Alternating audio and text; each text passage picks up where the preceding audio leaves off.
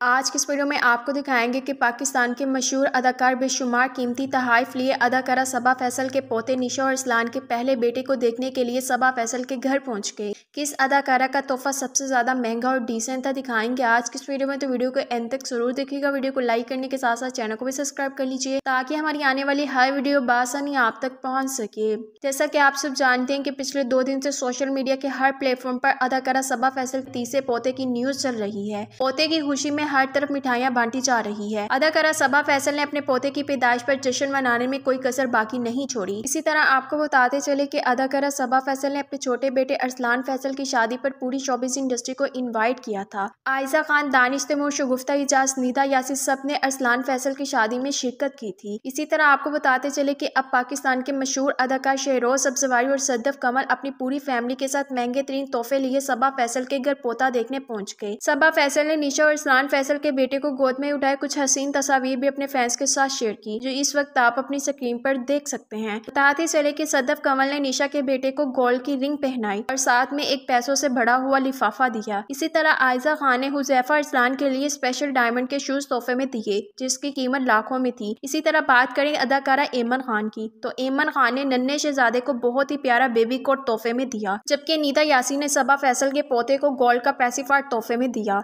तो आप सबको किस अदाकारा का तोहफा सबसे ज़्यादा अच्छा लगा? हमें कमेंट्स में अपनी कीमती राय के साथ ज़रूर दीजिएगा। आपकी कमेंट का इंतज़ार रहेगा। अपना डी सा ख्याल रखिएगा। मिलते हैं किसी और अच्छी इन्फॉर्मेटिव वीडियो के साथ। तब तक लिए खुदाफिज़